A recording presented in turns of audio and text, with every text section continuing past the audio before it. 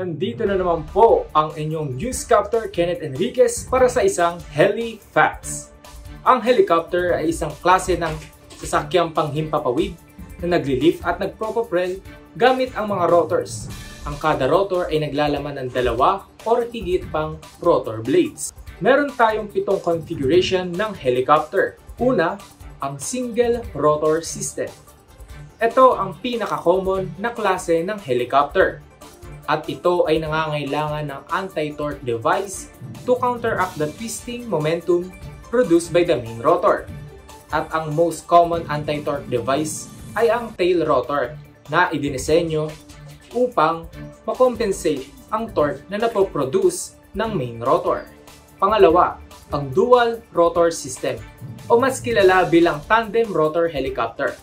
Ito ay may two main rotor system at no tail rotor ang ganitong klase ng helicopter ay idinisenyo upang makapag-support ng more weight with shorter blades. Pangatlo ay ang coaxial rotor system na merong two main rotors mounted on one mast or sharing the same axis of rotation but turning in opposite directions. The drag produced by the rotors is quite large due to the interference of airflows. Kaya ang helicopter na ito ay hindi normally nagkakaroon ng high cruising speed. Pang-apat ay ang syncropter. Ito ang helicopter na may two main rotors turning in opposite directions and mounted on two masts slightly inclined towards each other. Ang isang syncropter ay mayroong high stability and powerful lifting capabilities. Dumako naman tayo sa panglima. Ito ay ang side-by-side -side configuration na sa pangalan pa lang alam mo nang may two horizontal counter-rotating rotors na mounted sa side-by-side -side ng isang helicopter.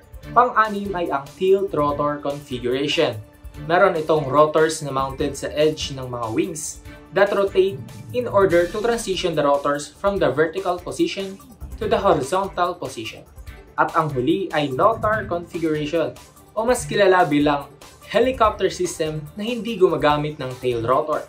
At alam nyo bang nabansagan ito bilang world's quietest helicopter? Dahil ito ay gumagamit ng jet thrust para makapag-provide ng directional stability ng helicopter. Mga kamekaniko, yan ang pitong klase ng helicopter.